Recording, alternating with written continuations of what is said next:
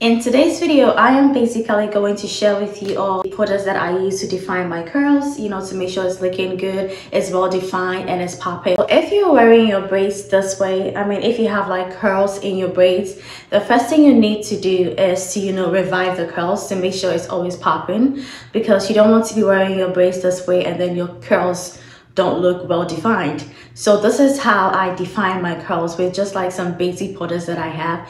I don't really do too much. The first thing that I use is um, this one or that one. So this is water and this one is like your normal, you know, spray that I can use to define the curls. I picked this up from um, Walmart because it was very affordable and I'm like, well, if it can do the job, why not, you know, save money but still look good. I'm always about that. The next thing i also like to use to define my curls is this product as well.